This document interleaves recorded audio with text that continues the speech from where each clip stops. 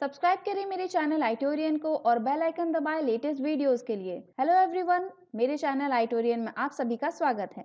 इस वीडियो में आप स्ट्रक्चर के एरे की यूज़ को देखेंगे।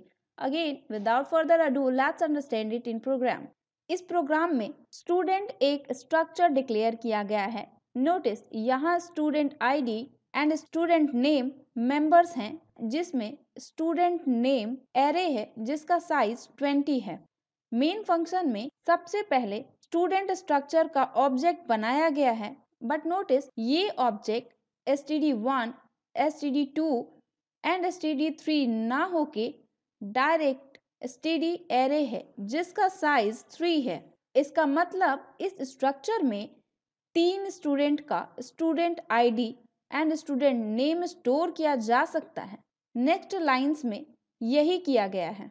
सबसे पहले S T D zero dot student I D उसके बाद S T D zero dot student name में वैल्यूज़ स्टोर किया गया है। Similarly others S T D array में भी वैल्यूज़ स्टोर किया गया है। एंड में इन तीनों S T D structure arrays के वैल्यूज़ को प्रिंट किया गया है। अब चलिए इसे रन करते हैं। और आप स्क्रीन पे आउटपुट देख सकते हैं। उम्मीद है आपको वीडियो अच्छा लगा होगा। तो चैनल को सब्सक्राइब करें, वीडियो को लाइक करें, कमेंट करें और शेयर करें। Thank you.